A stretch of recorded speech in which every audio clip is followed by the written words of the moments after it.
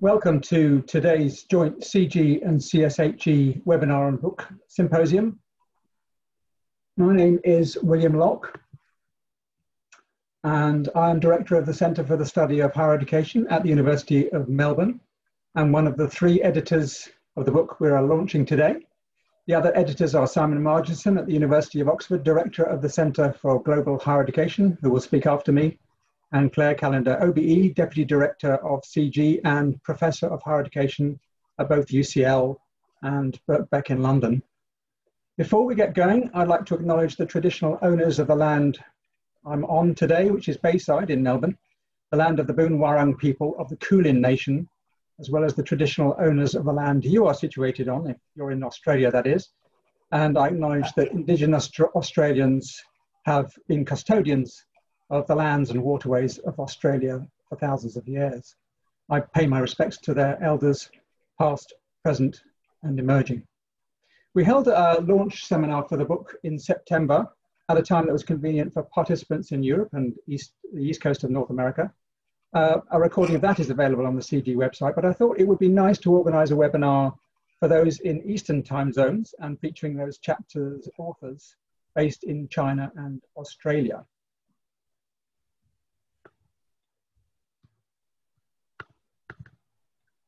Uh, thanks to our publisher, Bloomsbury, who are offering a 35% discount on their Australian website. A link to the discount flyer, which should include the code GLRTW6, will be posted on the chat facility, I think at the bottom of your screen at some stage. Let me run through the protocols for today's webinar. Um, so the webinar is being recorded and it'll be posted online on both the CG and CSHE websites in due course, usually in a couple of days. Uh, only the presenters' microphones uh, can be unmuted and video shared. So if you wish to ask a question, please use uh, the Q&A function at the bottom of your screen. Please post your question there uh, at any time from now onwards, to be honest. Um, you can remain anonymous if you wish. Uh, the panel will answer your questions once all the presenters have spoken. And a copy of all the questions that are posted will be uh, accessible from those websites as well alongside the video. video. So that's the admin out of the way. Uh, so with no further ado, I'll hand over to Simon Marginson. Well, thank you, William. Um, since uh, November 2015, uh, CG has been researching the main issues and emerging trends in higher education in the UK and abroad, um, including the growth of participation, student learning, new private sector providers, university industry links, higher education governance, the academic profession, international students and migration policy, the public good role of higher education, social equity in higher education, sustainable financing and tuition loans, graduate labour markets, and of course, digital applications to higher education. And most of these issues have been uh, brought forward again for us by the pandemic, um, and all of them feature in our book. The Research Centre draws on the insights of researchers in the UK, United States, Australia, Ireland, China, Hong Kong, Japan, South Africa, and the Netherlands, including postdoctoral and doctoral scholars who will be tomorrow's research leaders in the field. After the introductory chapter on the role of higher education and uh, William Locke's excellent chapter two on the need for an evidence-based approach to the future of the sector, which does a masterly job in skewering the fake futurologists and alarmists, the book chapters fall into five parts. Part one on global, global factors in higher education concerns the uneasy tectonics when the national and global planes of action meet. Chapter three looks at the expansion of global science. It shows that while the globalization of trade, investment, and production have faltered, and US appreciation of the value of China seems to have deteriorated, global cooperation in science is resilient and dynamic. Chapter four examines the collision between incoming student mobility and migration resistance in the UK. And chapter five highlights the shock of Brexit in the UK higher education sector which has been profoundly engaged in Europe. Part two focuses on financing and widening participation, and chapter six on income contingent tuition loans financing will be introduced today by Bruce, Lorraine, and Dung. Chapter seven by Claire and colleagues reviews the research on the longer term effects of student debt. Chapter eight by Vikki Boliver and colleagues critically discusses efforts to widen the social base of participation in England, the equity issues. Part three on teaching and learning starts with chapter nine by Paul Ashwin on the principles underlying national system wide approaches to teaching excellence. And in chapter 10, Jan McArthur reflects on the power of assessment to shape student learning, including learning about social justice in disciplinary frameworks. Diana Laurillard and Eileen Kennedy, chapter 11, discusses the potential of massive open online courses, or as you know, MOOCs, to widen access to professional education and orchestrate collective knowledge development in professional communities. In part four, Francis Green and Golo Henseke provide a state of the art journey down the path of graduate employment and underemployment, an issue which will become very major as we move through the pandemic and into the next period. In part five on institutions and markets, Janja Komljenovic uh, talks about devices used in making higher education markets, such as the Students as Consumer Reform in the UK and international student recruitment agencies. And Stephen Hunt and Vikki Boliver in chapter 14 ask whether subsidised private colleges in the UK can break into the educational mainstream. They say that probably no. The final part six is on the public and social benefit of higher education. And in chapter 15, Paul Ashwin and Jenny Case reflect on their large participative research project on student and graduate pathways in South Africa. Tian Lin and Liu Nian Cai will today discuss their chapter 16 on the public good role of universities in China. And the final chapter by myself reviews the concepts of public and common good and outlines a framework for researching all of the contributions of higher education. CG Research compares higher education's contributions to public good in Japan, China, Korea, Finland, France, Poland, UK, US, Canada, and Chile. Well, now I'll hand you back to Claire.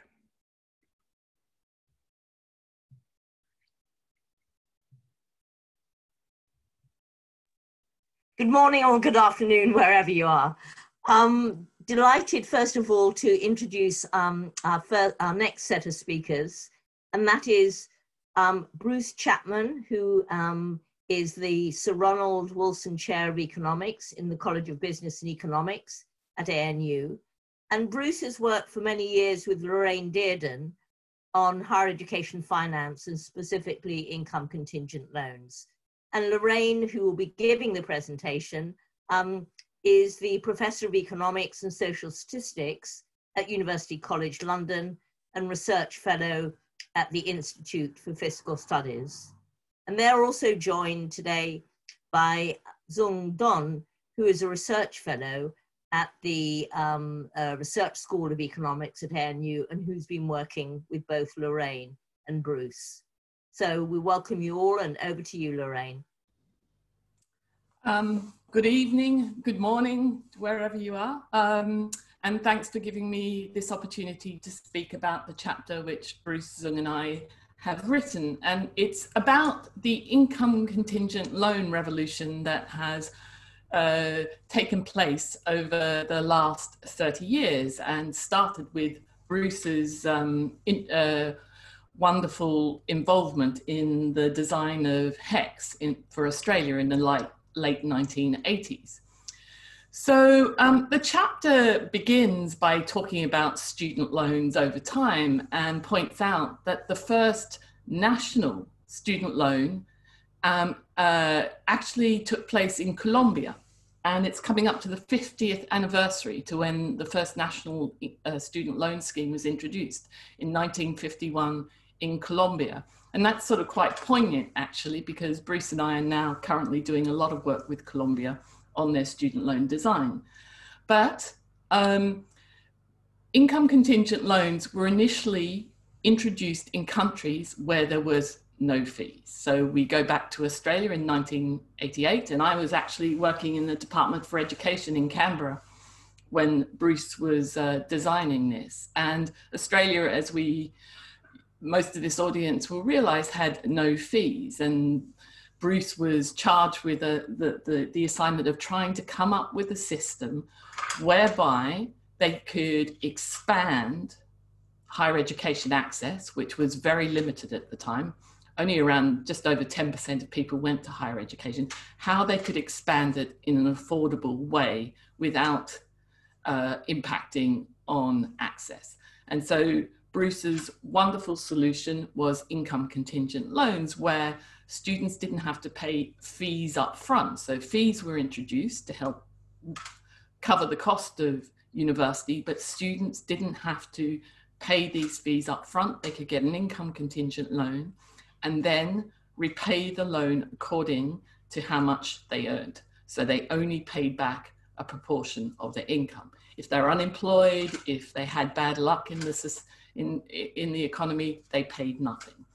And this started uh, income contingent loans being introduced in other countries, again, where there was no fee. So, uh, so New Zealand two years later, and then in um, the United Kingdom in the late 1980s. And it's been introduced in other countries as well. And it's completely transformed the way that higher education operates in those countries. So in the UK, for example, where I'm based now, there's been a huge expansion of higher education. And this has been made possible by introducing fees, providing more resources to fund a larger higher education in, uh, uh, uh, sector, and but ensure that there's no upfront costs, particularly for those from poor socioeconomic backgrounds. And in the UK, the biggest expansion has been from uh, students from the poorest socioeconomic background. Okay, but in the majority of other countries, um, it's changing, but most countries like the US, like Canada, uh, like uh, uh, uh, uh most of the, virtually all of the countries in Latin America where I've been working recently, they do not have income contingent loans. They have time-based repayment loans, which are like a mortgage. So a student goes to university in the US, they have a debt, and then they have to repay their loan over a set period with equal installments over that set period. That means that if they have bad luck, they lose a job, they've got to find the money from somewhere. And this causes huge hardship and means that there's very high levels of default. And you can imagine in the current context where, where there's a pandemic and unemployment's gone through the roof, this is creating huge problems. So we document in the chapter sort of why an income contingent loan can work in most of these countries. So, so Bruce and I, with other colleagues in the US and, and Nick Barr at LSE, have designed, shown that an ICL can work in the US. Dung has done work in Vietnam. Uh, Bruce and I were also involved in Malaysia. We're, as I said, currently involved in Chile. You can design income contingent loans which will stop these default problems and are also sustainable. But in other countries, the big problem is, you know, if you lose your job, the repayment burdens are just so excessive. The, job, uh, the, the, the, the loan scheme simply is not sustainable. The other huge advantage which income contingent loans have is that the way they are collected is through employer withholding through the tax system uh, in Australia and the UK. And this is incredibly efficient. So, you know, in the US, they have private companies chasing students who do not pay their loans. And you know that the consequences of not paying your loan is is tremendous. You it, it it's changes your life forever. It ruins your credit reputation. You cannot get a loan. Uh, you cannot declare bankruptcy with a student loan in the us and it, it, it causes misery.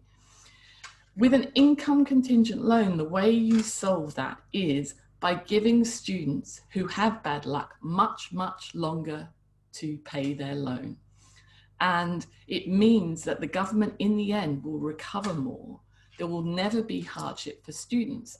And you can design the loans to fit the public policy agenda. They can involve big subsidies, like in the UK, there's a 45% subsidy with a student loan, or no subsidies. The income contingent loan introduced in Japan has none. And as, to finish up, so, so we, we're doing lots of work in countries. We're working in Colombia at the moment and show that an income contingent loan is viable there. And it's particularly poignant at the moment with the pandemic. In Australia, the UK, graduates like my eldest son, who has just graduated, might be facing lots of problems getting a job, but the one thing they do not have to worry about is their student loan. He does not have a job. He is paying nothing back on his student loan. So I'll leave it there, and uh, um, I'm sure people will have questions, and um, Bruce and Dung can uh, uh, chime in then. So thank you. Lorraine, thank you very much. Um, if we uh, wanted uh, some testimony as to why Lorraine, Bruce, and Dong are world experts in this area, all we have to do is listen to Lorraine and read their chapter. So thank you very much indeed. Um, so let's move on to the next speaker. The next speaker is Nian Liu, who's Professor and Dean of the Graduate School of Education at Shanghai Jiao Tong University, and Lin Tian, who is a PhD student working alongside Nian.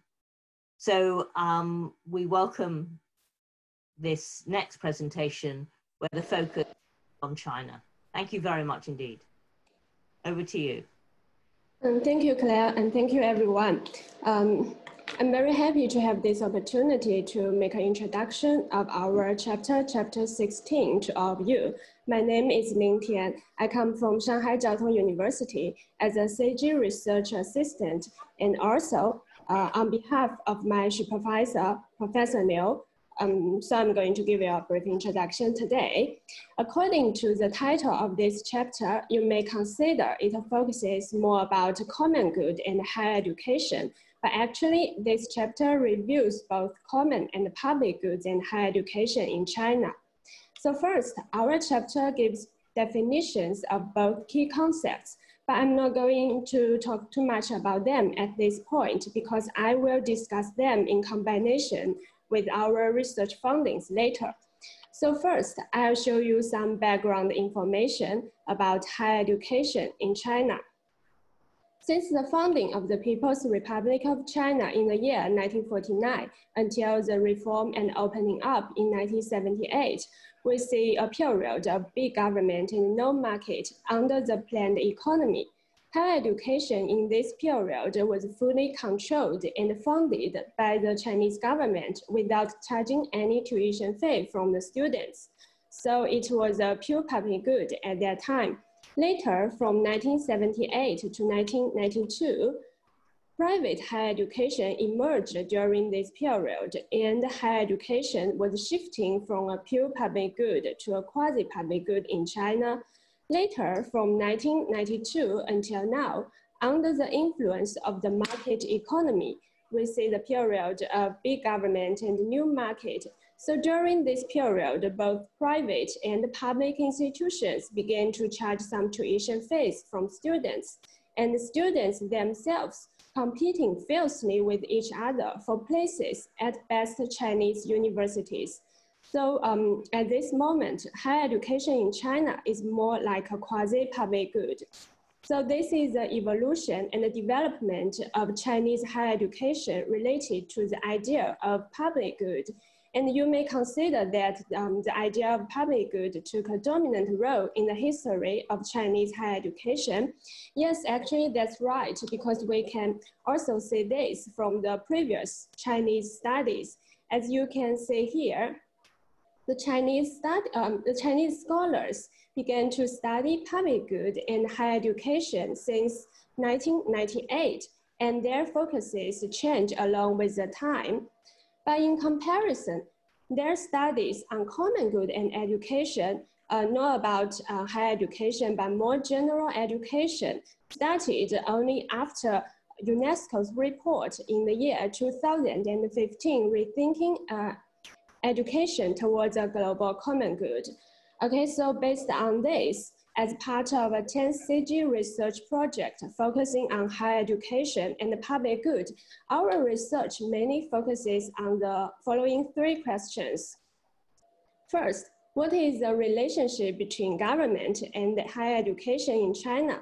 Second, how does, edu how does education in China relate to public good? And third, how does higher education in China relate to common good? We use semi-structured interviews to get data and a total of 24 Chinese participants were interviewed, uh, including government officers, university leaders, as well as the uh, university academics. Okay, then I'll show you some key points from our research findings. The first, um, first is about the relationship between government and higher education. According to our research findings, higher education in China is shaped, guided, and largely financed by the Chinese government. So government plays a dominant role in the higher education system, and it, will, it is also the primary financial supporter for public universities as you may know that the higher education system in China mainly consists of public universities. Interviewees in this study consider that this kind of relationship is positive and effective. Given that the complex situation in China, despite that, interviewees in this study still believe that universities need their own independent judgment Okay, then it's about higher education and public good in China.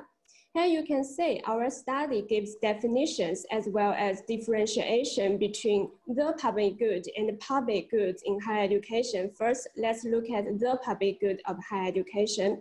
This means that higher education is not only for individuals, but also for the general public, emphasizing the intrinsic value and attribute of higher education itself so it's a more generalized idea when compared with public goods, because public goods refer to more specific activities and practices on a non-profit basis in higher education. In terms of level and scope, we have a differentiation between local and global public goods here. And next point is about higher education in China is not a pure public good because it is free charging and selective but its public nature has been maintained due to the Chinese national policy as well as the Chinese culture.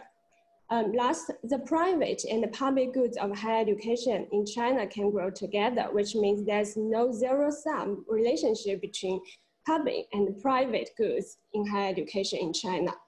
Okay, then it's about higher education and the common good in China here you can say common goods or the common good may be confined to a certain group and their creation and production are processes of collective participation. This means common goods emphasize the shared action, collective endeavor, and the collective participation. Um, this is in contrast with uh, public goods because public goods are open to free. Free riding. Okay, then very similar to global public goods, we have global common goods and global common good here. Both of them are related to all people worldwide. For example, global mobility, research, and knowledge can also be regarded as global common goods. Okay, then interviewees in this study consider that um, the concept of a community of shared future for mankind, we call it as 人类命运共同体 in Chinese, is very similar to the idea of the common good because this idea emphasizes the interdependence and convergence among um, different countries. Okay, last but most important, though higher education in China is largely government-led and regulated, its contribution to the individuals, the society, and the whole nation receive wide attention. In China, it has been, it is a collective endeavor and uh, it is also common to all people. Apart from this, based on my previous slides, higher education in China is neither a pure public good nor a pure private good, so it would be more reasonable and comprehensible to define it as a common good. And also, that's also uh, why we title this chapter as Higher Education in China, rethinking it as a common good. Okay, so um, that's all for the introduction of chapter 16. Thank you very much for your listening.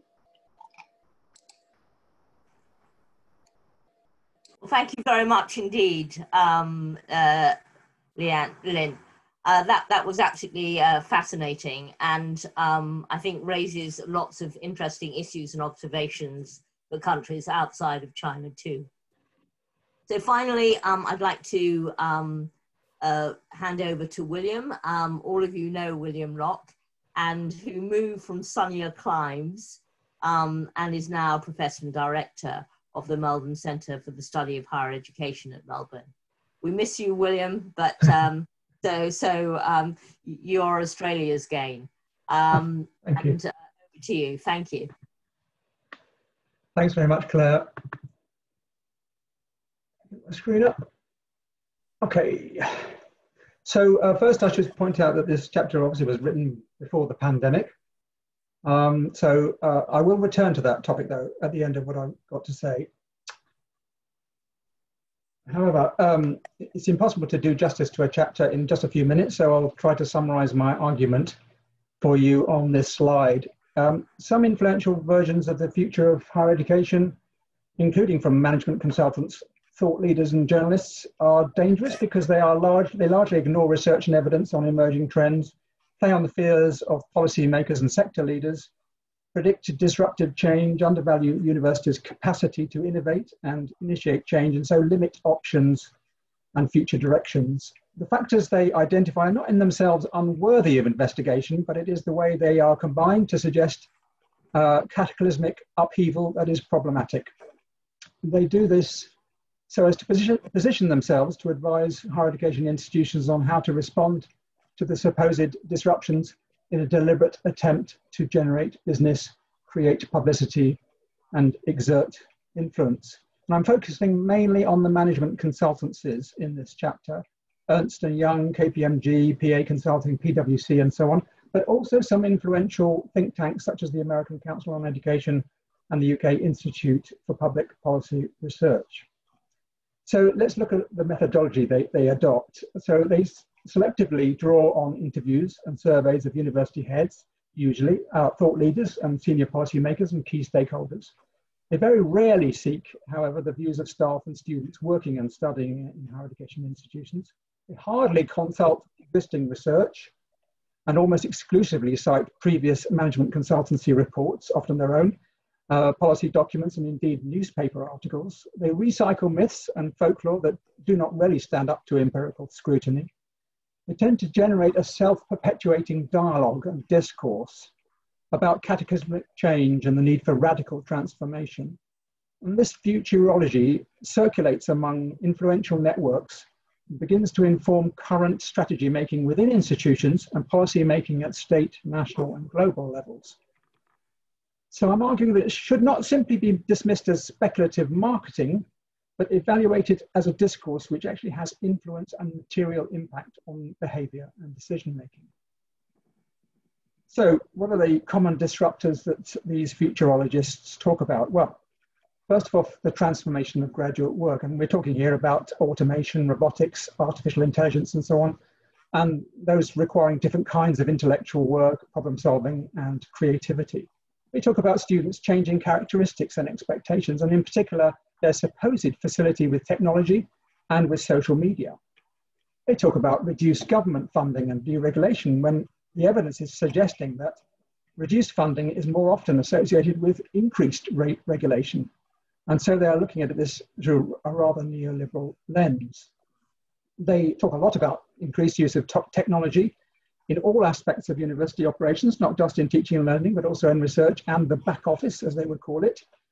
And they talk about the growing competition from private universities, particularly for profit colleges and universities, again, looking at this from a, neoliberal lens. Um, so, in terms of the scenarios of the future, uh, each of these external drivers is, is, claimed to be significant in itself, but it's actually the way in which they're combined which makes them irresistible. So, for example, changing student characteristics will be a catalyst for the adoption of new technologies, or reduced government funding will force higher education institutions to work and partner more closely with industry.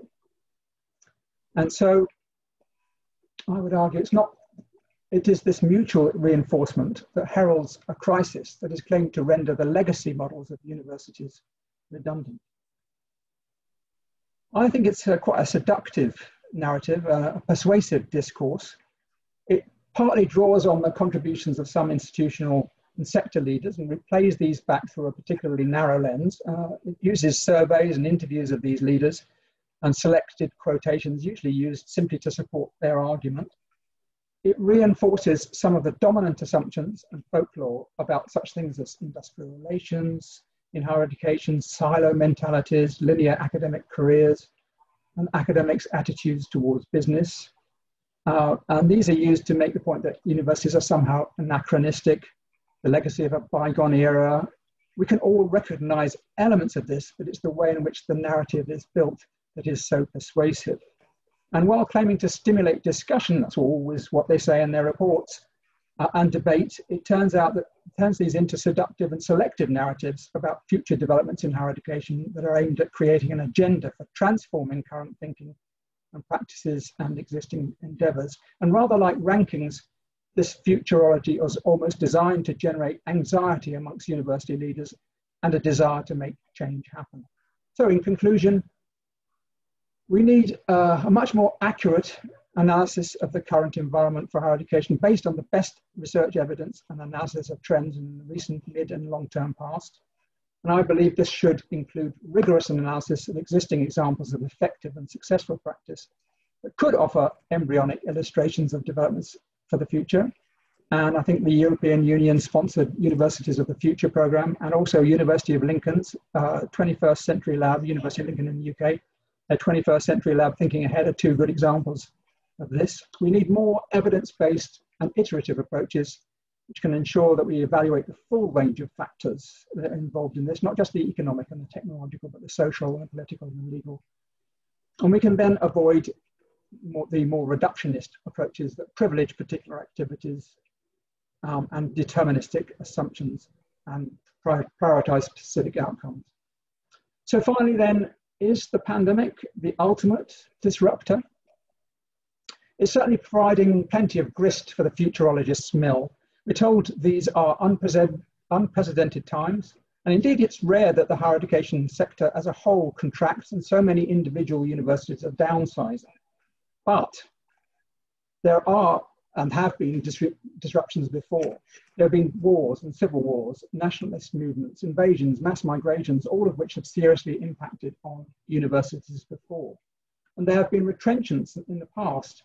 Following the financial crisis of 2008-9, there was a contraction in many national higher education systems with staff moving to shorter working weeks and taking pay cuts in exchange for job security. There was voluntary and compulsory redundancy schemes and so on. We're also told that there will be no return to the old normal.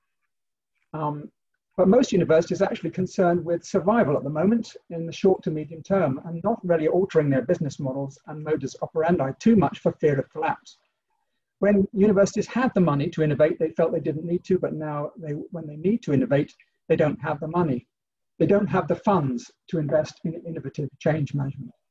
And maybe a crisis is not a good time to start making a new strategy because the future is even more unpredictable than during normal times. And of course, none of this is very good for the management consultants who will suffer as a result of the contraction of universities' finances and from retrenchment. And they, they have actually all, already let a number of higher education specialist consultants go.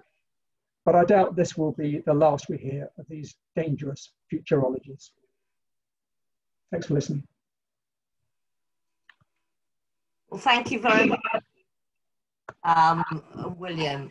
Now it's over to you. Um, we have some questions, um, and please uh, uh, add more questions to the Q&A. Um, so first of all, we have a question from Peter Robinson. Peter, um, would you like to ask your question? I don't think you can actually. Oh, sorry. Okay. Sorry. so Peter, um, I thought that um, Simon would like to address Peter's question. Simon, over to you. You want to read out the question and then comment on yes. it? Yes. Yes, Peter's asking us um, about the about the higher education form. You know whether it's still relevant. Um, his question is: uh, with the significant growth in online learning opportunities offered by providers other than universities, and a growing interest in micro credentialing as an alternative to the basic three or four year undergraduate degree, uh, whereas university educators becoming less relevant to the labour market needs of the world we now live in?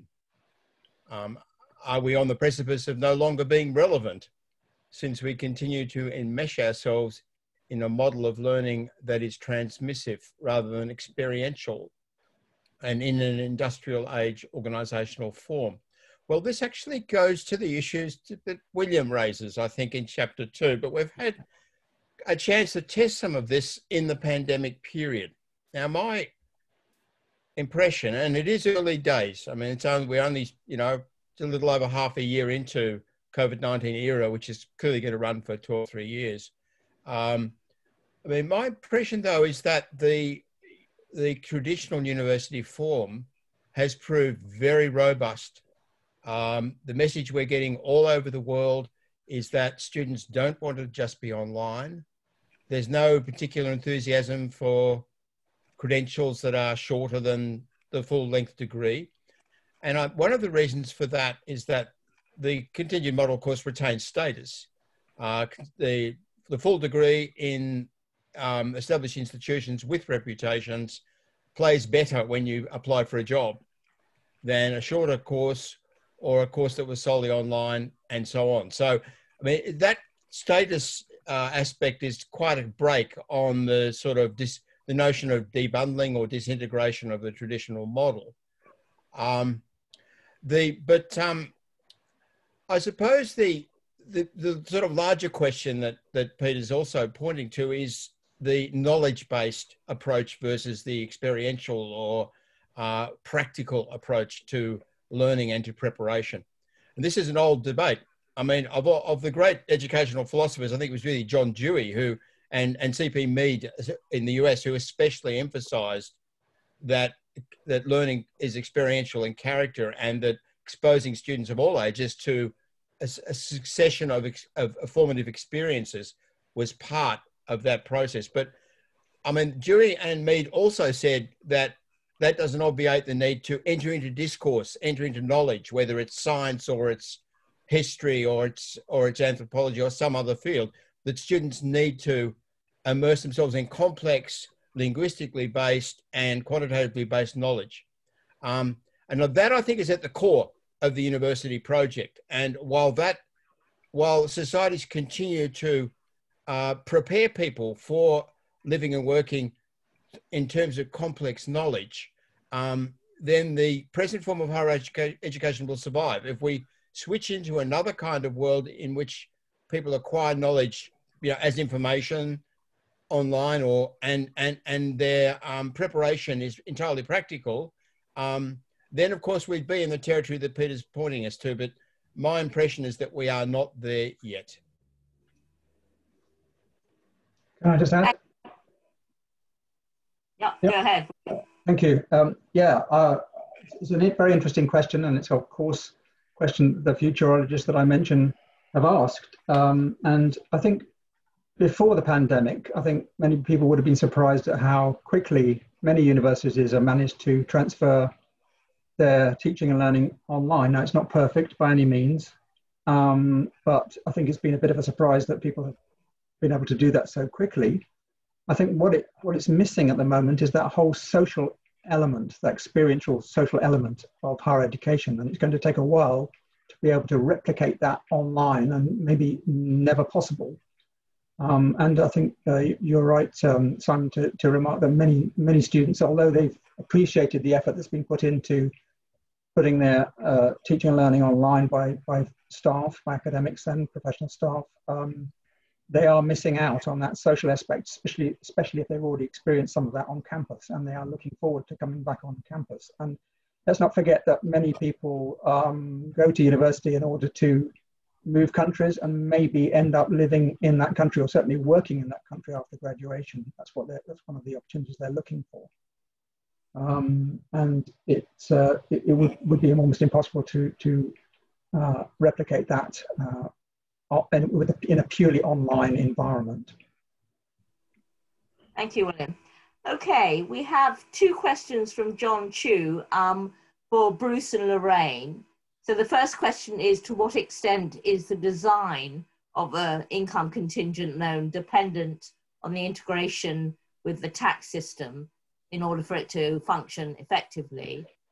And um, the second question is are you seeing any opportunities or gaps or examples whereby income contingent loans could play a role in the funding of global student mobility?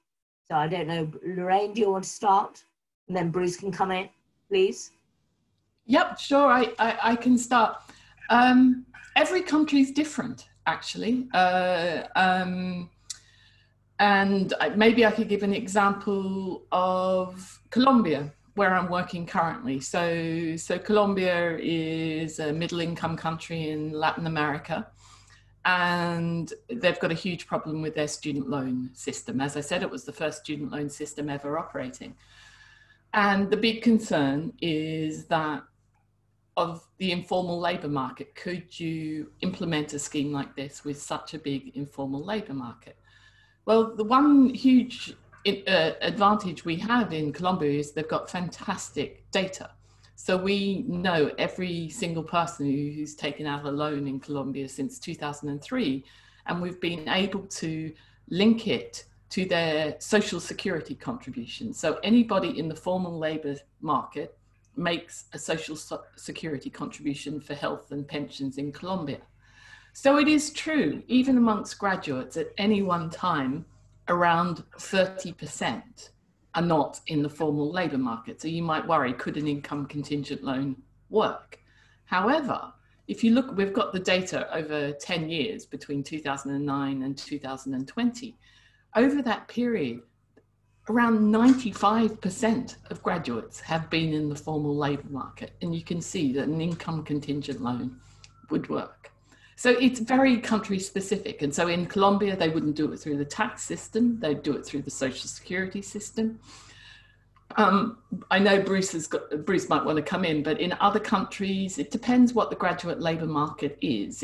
In a lot of countries, developing countries, the graduate labour market is very much focused on people working in the public sector. That makes designing an income contingent loan uh, uh, possible you know, until you go to the country, until you look at the data, until you, you know, uh, uh, uh, work it out, it, it, it, it, it, it's hard to say, but I have not yet been to a country. We went to Malaysia, got some fantastic data. Again, they were worried about the informal labour market. You could show it was not going to be a problem. Dung might be able to talk about Vietnam, Bruce about other countries. But I'm yet to come up with an example where you couldn't design an income contingent loan that would be better than the current loan system operating. Mm. I, uh, could I add to that? Can you hear me? Yes. Yeah. Yeah. The critical point is not the integration with the tax system as such. The critical point is what Lorraine referred to in her talk. It's employer withholding, which means that the employer takes a certain proportion of income out of salary and then gives it to the government, just as they do with income tax. And in some countries, such as the UK, and the US uh, Social Security.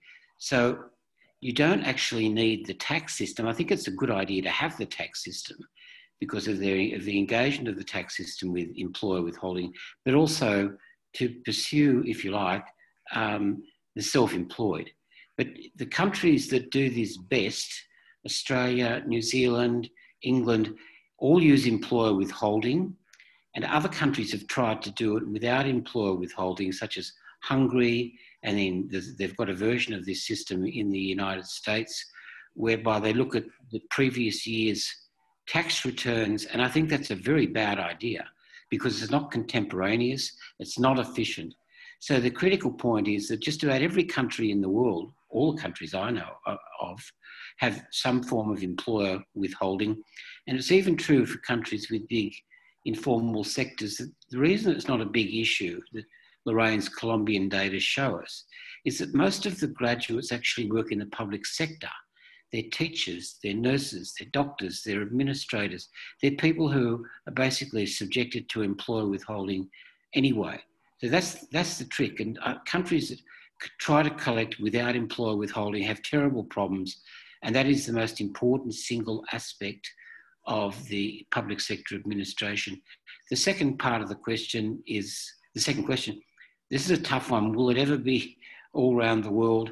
It's not going to happen unless countries individually are collecting income contingent loans through employer withholding. You can't come to some agreement with a country that doesn't do this because it'll be anathema to them. It'll be, you know, like trying to communicate with a Martian. It won't work. Um, so I, I, am not all that optimistic that there will be a universal income contingent loan until many more countries have got their own systems. Some countries are on the verge, and maybe within about four or five years, there'll be over a dozen, um, but that's not the whole world.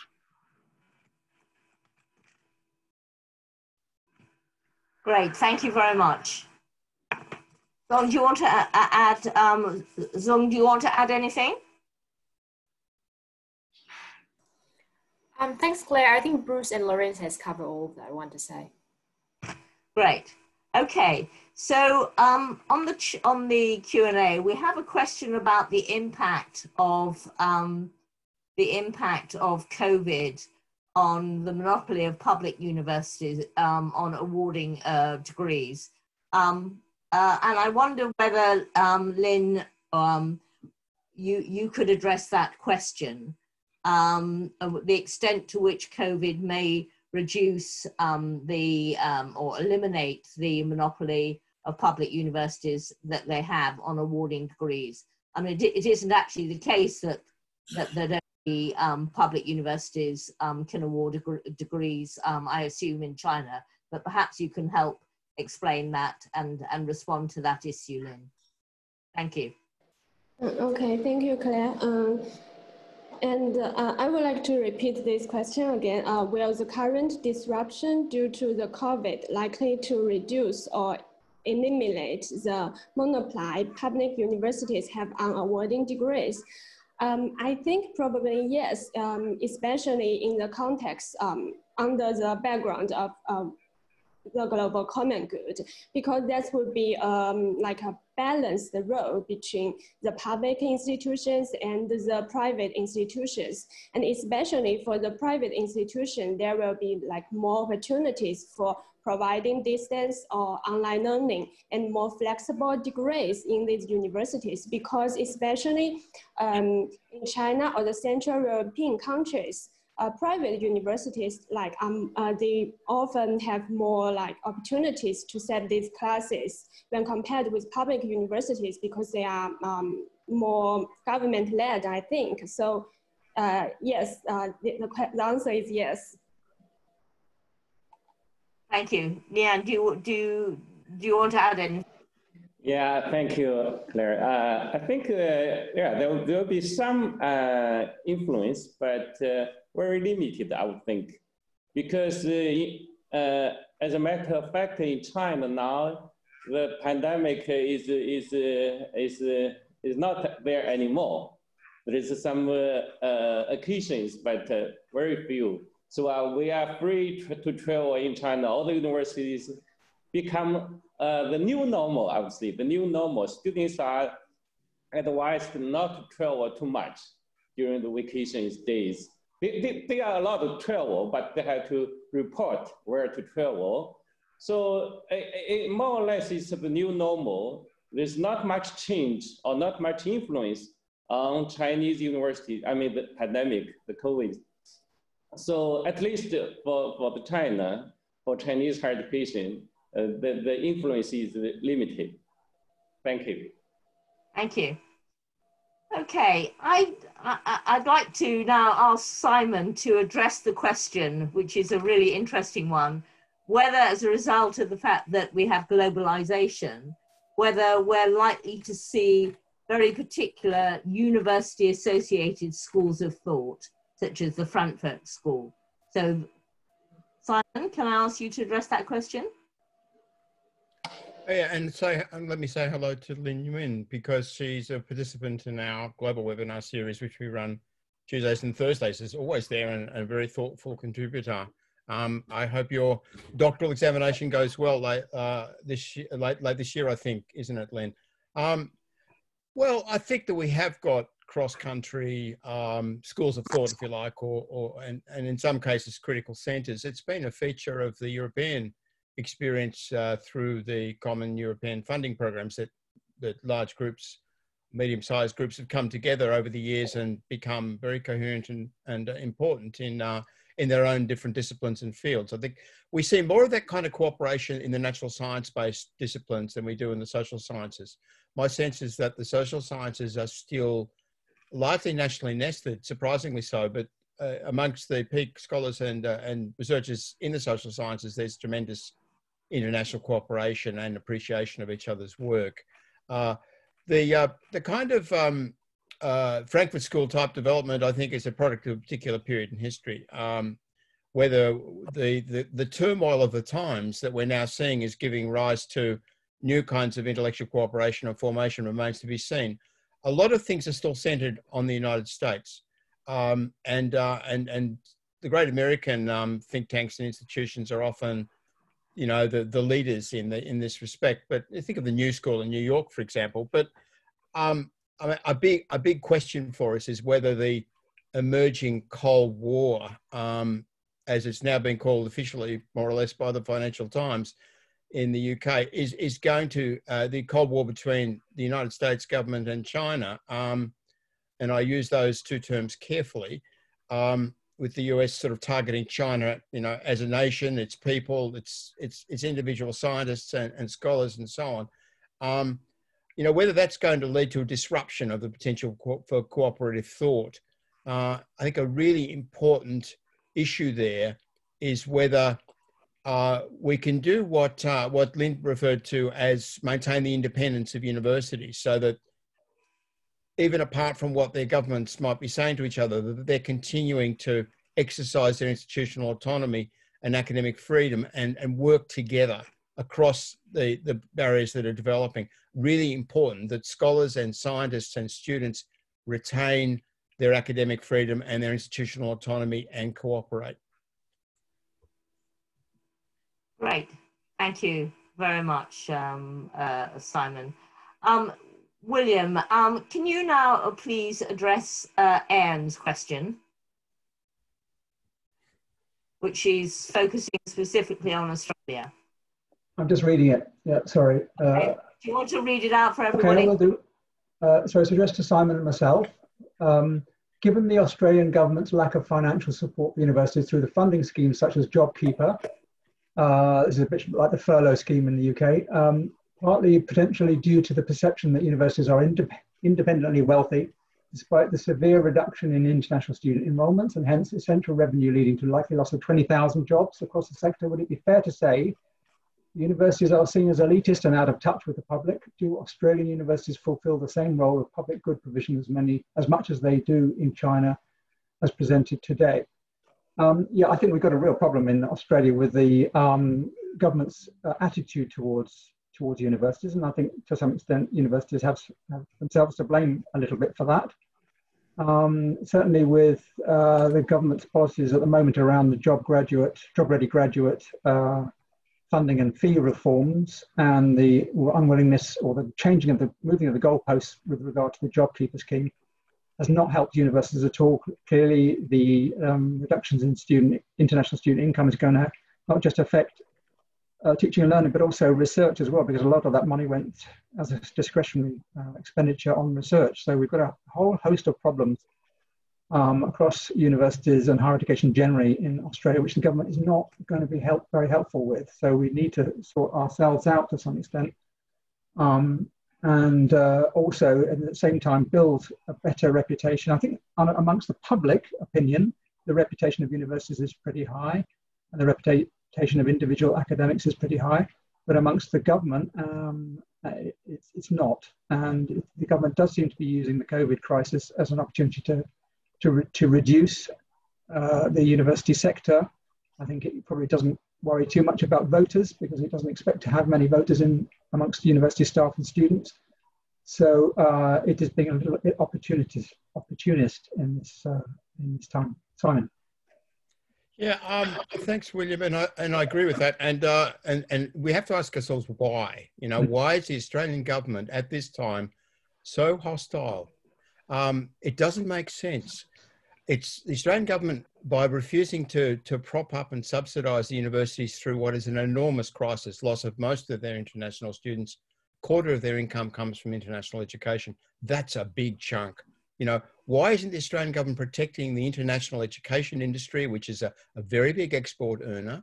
And why isn't it protecting universities to sustain the science base? Because unique among the major science countries, Australia finances more than half of its science from its own earnings and mostly in the international student market. So why isn't the government coming to the party at this point? Why is it allowing the both the export industry and the science base, which is a public good, to wither in this way? It makes no sense if you think that a conservative government should be pursuing a neoliberal agenda. It doesn't make sense. But it becomes explicable when you realize that the Australian government is not so much a British conservative type of conservatism in this sector. It's more like the Republican Party in the United States. And the view of the, and, and the Liberal National parties are influenced by the Republican playbook uh, in a lot of areas at the moment. And the Republican Party's view is that the universities are hostile ideological opponents of them, of themselves as, as Republicans. That the universities are hotbeds of liberalism in the American sense. That, that, that the, only the only good lies in breaking their social, cultural, political, and economic power. And the best way to weaken the universities in Australia right now is to refuse to compensate them the loss of this massive amount of international education revenue. No other country in the world would have a very strong science system and then would deconstruct it in this way. Every other country is trying to build science. Well, Thank you, Simon. Um, and I think actually that's probably, do you, do you want to add in terms of any other concluding remarks? Because like, this brings us to the end of the webinar. Thank you all for your questions. Um, they've been great, and I'm really sorry that we haven't been able to address all of them in the time available.